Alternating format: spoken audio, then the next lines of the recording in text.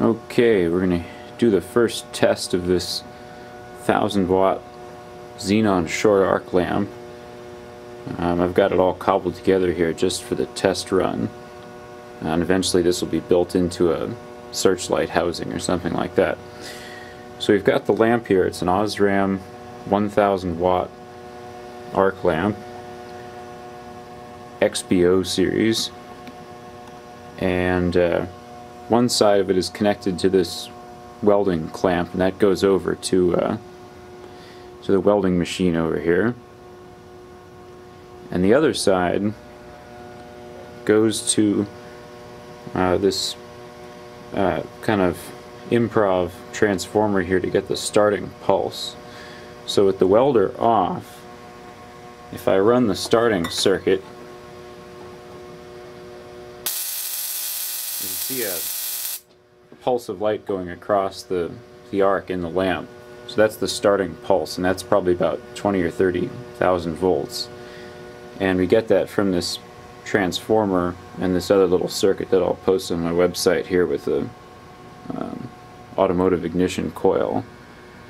For a while I was using a uh, 555 timer circuit to uh, pulse the coil, but the circuit kept dying because of the RF coupling and all the inductive kickback.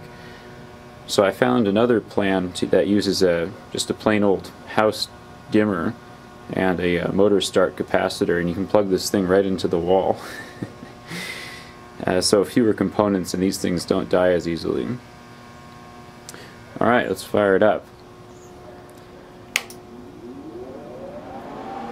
So the, the welder is a TIG welder, but right now it's just set on uh, stick weld and the current is controlled by a foot pedal see the foot pedal there. So, I'm going to put on some goggles here because this thing's going to get pretty bright.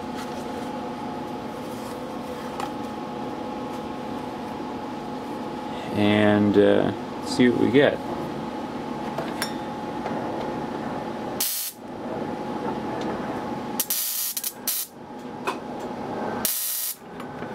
There we go.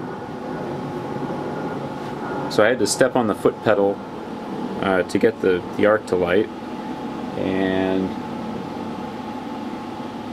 running at about 50 amps right now. Uh, the, the, lamp gets brighter and brighter. It'll probably take a full minute to warm up, but I don't want to run it for that long because uh, I just have that little fan in front and it really needs a better housing to uh, ensure there's cooling air going across it.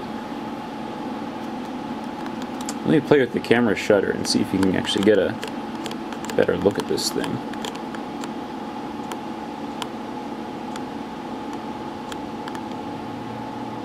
So that's uh, the shortest shutter this camera will do, a four, four thousandth of a second.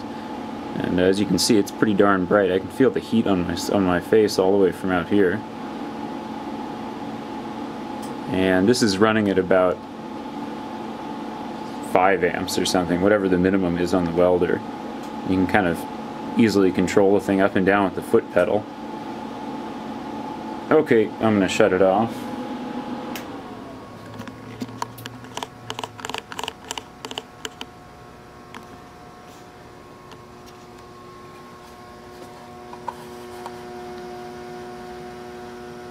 As you can see, the uh, the anode gets pretty hot in normal operation there.